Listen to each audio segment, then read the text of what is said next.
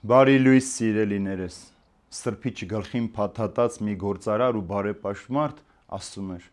Տեր Աստված, գլխից ցավը չի անցնում։ Ինչքան խնդրում եմ, ինչքան աղոթում եմ, ոչինչ չի փոխում։ Ինչ կարող եմ անել։ Այդ պահին նկատում եմ, պատուհանից, որ մի հանրահայտ երկիչ մի սայլ իր հետևին պահած, լիք ապրանքներով իր լծված եւ ինչ որ առածներ նրա վրա թրշկոտում ու մտրակով հարվածում են ասելով, որ բարձունքը բարձրացիր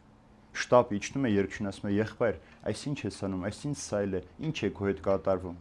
Երկիչը բերի ծանրության տակ կքած պատասխանում է սայլի մեջ բարձր բոլոր խնդիրները, մտահոգությունները, նպատակները, իսկ այս թշկոտող արարածները իմ խորհրդատուներն, ովքեր ինձ հանգիստ չեն տալիս, անընդհատ ինձ ասում են դեպի վեր բարձունք բարձացիր քո նպատակն իրականացնելու համար։ Այդ պահին գործարարը սրբիչի գլխից հանում է պատասխանում։ Գլխից ցավը անցավ ես հիմա հասկացա, որ մենք ընդհանրեն աշխատողներն ենք, իսկ նպատակներ իրականացնող Աստված է։ Դենն է դիր այս սայլը քեզանից։ Մի այդպիսի սայլ ես էլ իմ գլխի մեջ ունեի, դրա համար գլխից ցավը չեր անցնում։ Խաղաղվիր ու հանդարտ ապիր, աշխատիր, մնացած ամեն ինչ Աստված կիրականացնի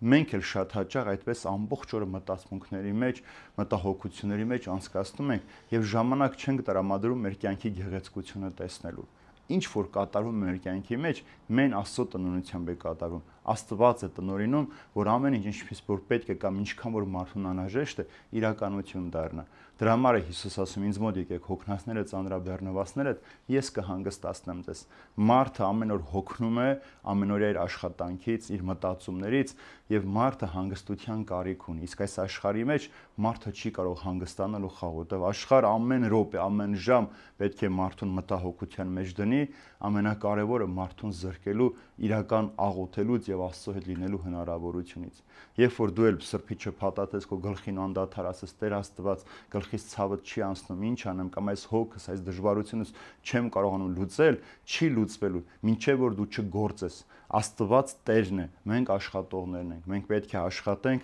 իսկ Աստված է տնորինի եւ իրականություն դարձնի։ Բայց մեր բաժին աշխատանքը մենք անպայման պիտի կատարենք։ Աստված մեր փոխարեն չի աշխատելու։ Աստված մեր փոխարեն չի գործելու։ Մենք պիտի աշխատենք ու գործենք, իսկ Աստված պիտի կատարի։ Որը ինչ որ պիտի անեք, սիրելիներ, հենց այսօր սկսեք։ Մի թողեք վաղվանը կամ մի հետաձգեք, այսօր չեմ կարող, ժամանակը չի, դեռ երիտասարդ եմ, դեռ ուսում պիտի առնեմ, դեռ պիտի ամուսնանամ, զավակ պիտի ծնեմ։ Այդ ամենի հետ մեկտեղ նաև ձեր գործն ու աշխատանքը կատարեք, բայց ամենակարևորը մի թողեք Աստծո ձեռքը, որովհետև Աստված որ մարդու ձեռքից բռնած առաջնորդում է դեպի բարձունք, դեպի նպատակակետ, որպեսզի մարդը կարողանա հասկանալ, որ այս աշխարհի մեջ ինչ էլ որ կատարի, նախ պատահականություններ չկան, երկրորդն էլ միայն Աստված է տնորինում ամեն բան։